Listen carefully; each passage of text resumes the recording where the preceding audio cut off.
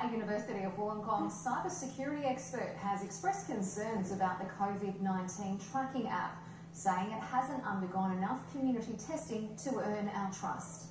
The app being rolled out by the federal government uses Bluetooth to identify and inform close contacts of confirmed coronavirus cases.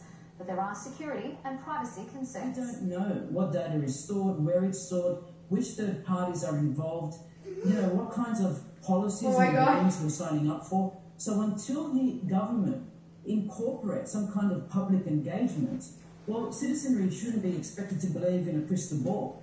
The app is not effective if only part of the population signs up, but it's currently not mandatory. MPs are divided on the matter, with Barnaby Joyce saying he would not be downloading it.